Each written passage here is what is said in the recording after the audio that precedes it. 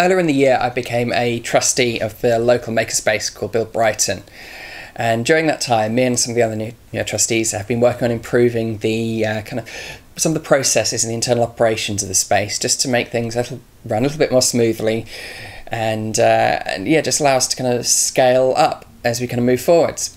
And one of the things I've started on recently is an access control device. So this would be an a piece of electronic equipment which would fit in the power line for some of the, the larger tools and bits of equipment in the space and it would allow users to tag into the tag into the equipment um, using the RFID tags which you've already got in place for the main door.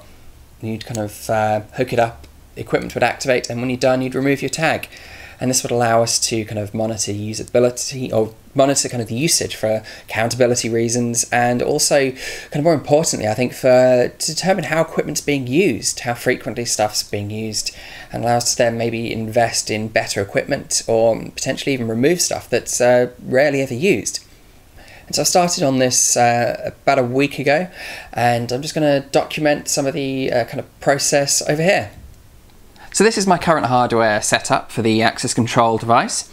I've got a, uh, a kind of a screen just so you can kind of see what's going on. I've got uh, an internet connection via the Ethernet serial adapter, an Arduino at its core, and an RFID reader.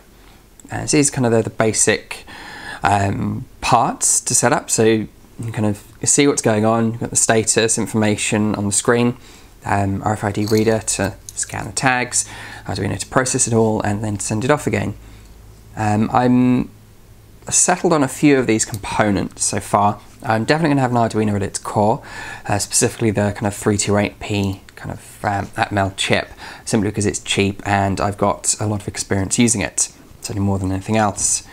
The RFID reader, I started out using one of the ID20 um, devices, as basically that's what I had in a drawer. I bought this many years ago, but after looking at the price, these are uh, about 25 quid to buy new. Um, and I kind of after probably at least half a dozen of these modules, maybe more. Um, so that was kind of out the question. So I've sourced this from eBay. It's kind of a, that seems to be very, very common module. They're, I guess they're about kind of uh, five quid, five, six pounds to buy.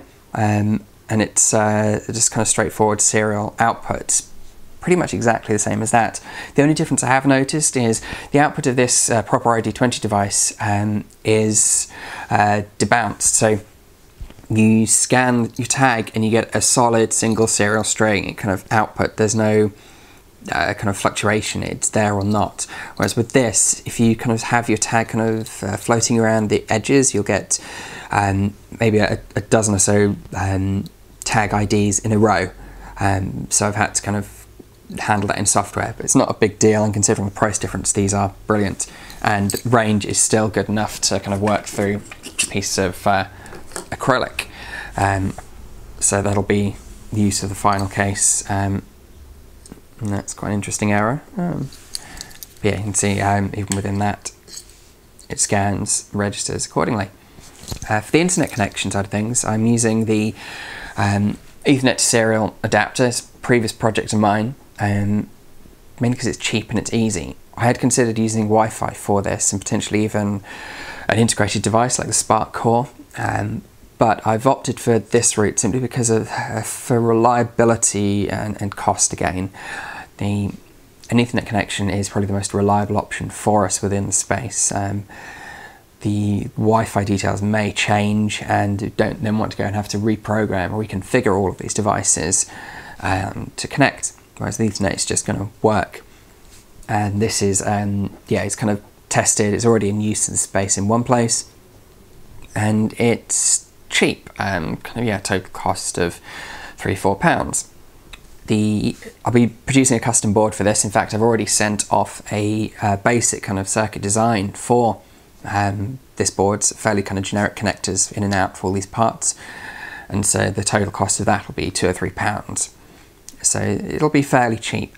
Screen is the one thing that's kind of left up for grabs at the moment. The These displays, um, again this is one I, I had previously, uh, but to buy new, at least uh, kind of in this country, they are uh, kind of 15 quid, the cheapest I've seen these. And they are pretty big as well. Um, And so that is something I'm still kind of toying with. I've got an OLED screen which I'm experimenting with, which I'll point out in a minute. The, the other side of it um, is the output, and that is, um, the moment, probably going to be one of these relays. It's a, a solid state relay, and it accepts a nice uh, 5 volt input. The current draw is pretty low, so I think I can drive this straight from a digital output. And uh, we've got what's it, 40 amp kind of switching at mains voltage, so it should be ideal for pretty much anything we've got in the space. And that, I, I think I'm, I'm, settled on that. Again, it's only, uh, I don't know, three, four, five pounds from eBay, um, and that should be ideal. For the screen for this, I'm currently thinking of uh, an OLED um, OLED screen. Um, I got this a few days ago, so I've just been playing around with uh, how to represent the data on the screen, this kind of interface. And so if I reset it, it'll cycle through kind of um, various kind of states for this. And the, the, main reason I like these screens is it's a 64 um, by 128 character display. So it, has got um, a really high kind of pixel density it despite a really tiny size. So it can display at least as much information as the big kind of um, LCD screen. And they're, they're cheap. I mean, this, this I previously bought, um, I think i have used an OLED screen once before, and that was an Adafruit product.